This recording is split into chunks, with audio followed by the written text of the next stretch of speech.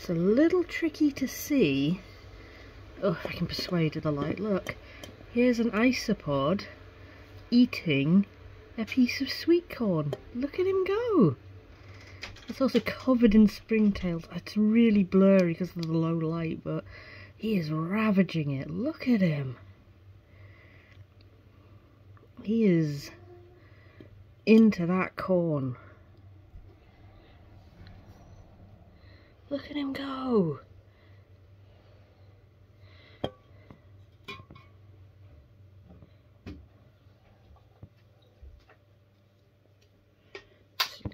the light is just keep moving around.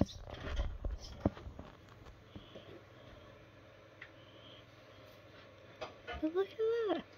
I only put that in a few minutes ago. He is proper going to town on that. Oh, a bit blurry. There we go. Oh, look at him tugging at it. Yeah, you eat that corn.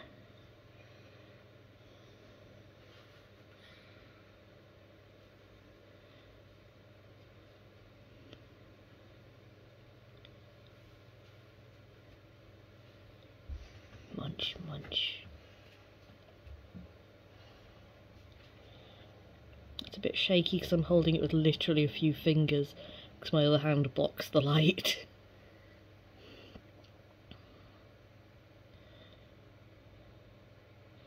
You can kind of make out the little antenna of that springtail. That's kind of cool. Just put my hand to read. There we go. Slightly better grip on the phone. So many springtails.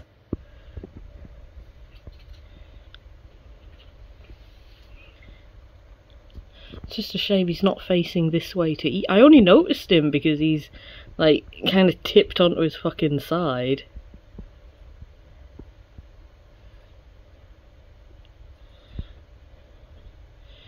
Yeah, they always have such a fucking blast when I put a bit of extra food in for them.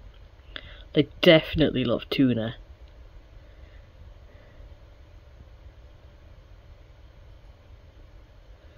They're having such a good time. I'm gonna see if I can get round to his face before I knock this off.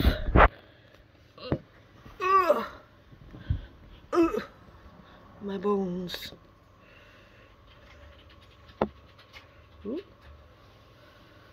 Slightly different angle. Yeah, you can kind of see him taking bites.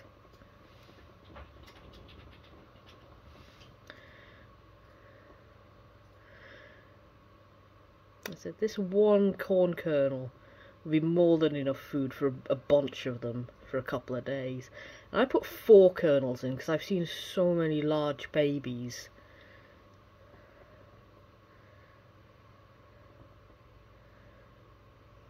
Uh, but I can only see two corn kernels. He's facing this way now. No. Oh, I think he's had his fill. Thank you for blessing us with your cuteness, little isopod. Are you gonna go hide in that hole? He's like, yeah, my tummy full. Your bum's still hanging out the hole, mate. You know, oh, is there another one in there? I think I can see another one's antennas, which is why he can't get in. Yeah, if you look at the very top, you can occasionally see the shadow of another antenna. Yeah, there's someone else in that hole. Oh, he's found the fucking sweet corn again.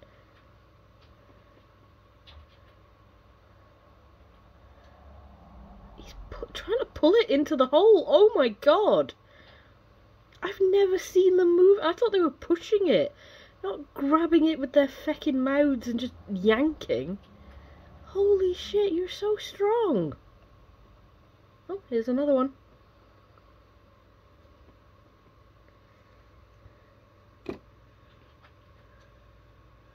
That one's a bit shy.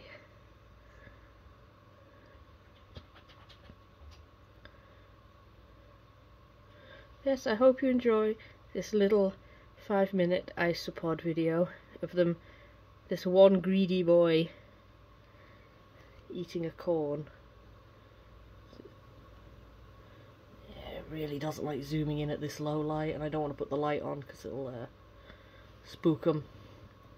Though technically, I can't put the tank light on because if I come up, pan, pan, pan up, ugh, that's a World of Warcraft book. Uh, the lid is currently being siliconed and uh, it gives off fumes and we don't know what it will do to isopods so to just not risk it we're uh, doing it in another room far away from them. Because you know I know they're hardy little things but we don't want to kill them because they're so cute. And before I go this big boy I think he's about to discover a corn Oh yes, oh yes, he's found that corn.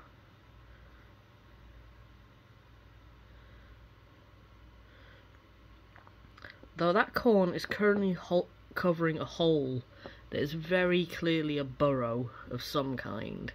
So I think someone's tried to pull that corn into their burrow so they didn't have to share. There's probably an isopod eating it from the other side. But there's two isopods having a nom. And like a billion fucking springtails. No baby isopods.